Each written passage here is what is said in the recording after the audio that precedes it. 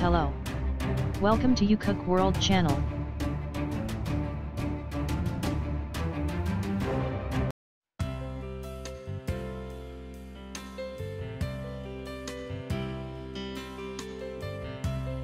The same chip will appear in the MacBook. Apple is preparing to launch mass production of Apple A13 processors for iPhone 11 and iPhone 11 Max. According to insiders from the supply chain, in 2019, Apple decided to start producing chips earlier than usual, since the processors will use a completely new technology. Disclosed details about the Apple A13 processor for iPhone 11, Apple A13 chip for the new iPhone 11, iPhone 11 Max and iPhone 11R will be manufactured by TSMC.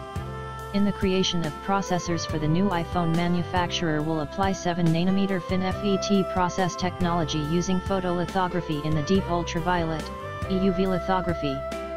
Before EUV lithography has never been used in processors for the iPhone, for Apple chips, this solution will be completely new. Through the use of EUV lithography, Apple will greatly increase the performance of the processor, while maintaining its size and energy efficiency at the same level. How much the new Apple A13 chip will outperform the A12 Bionic in performance is currently unknown.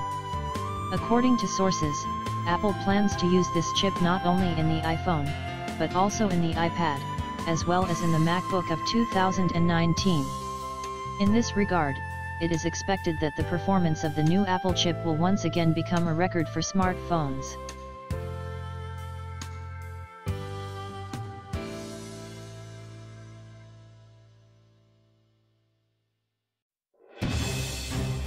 Thank you for your attention, subscribe and like.